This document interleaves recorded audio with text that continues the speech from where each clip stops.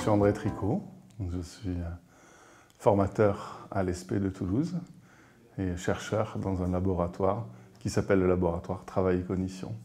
Le numérique permet d'évaluer euh, les élèves euh, tout en faisant autre chose, de récupérer les évaluations des élèves a posteriori.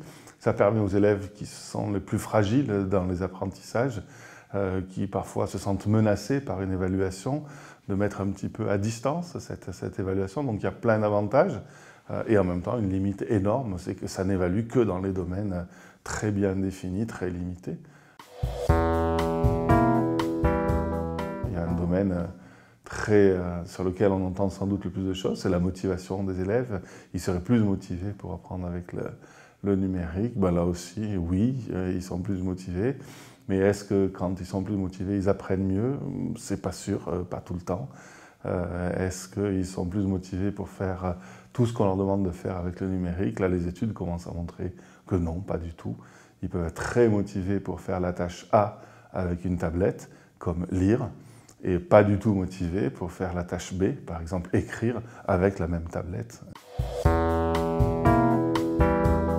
Le numérique n'est qu'un outil au service des enseignants et au service des apprentissages des élèves. Mais ça n'est qu'un outil. À partir du moment où on le considère comme un simple outil, c'est un outil euh, qui peut apporter des choses formidables. À partir du moment où on pense que c'est plus qu'un outil, on pense qu'il va, par exemple, modifier le statut des savoirs, le statut des enseignants, qu'il va modifier le rapport des élèves avec l'apprentissage, je pense qu'on fait dire euh, n'importe quoi au numérique.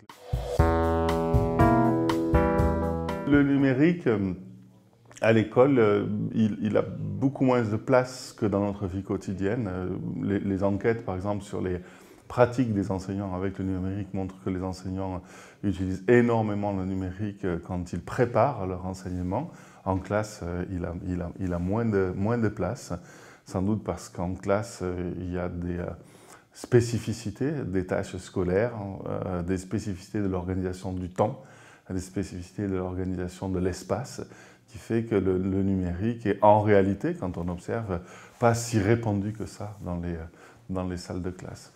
Euh, c'est très peu, pour l'instant, un outil, par exemple, pour les apprentissages en autonomie.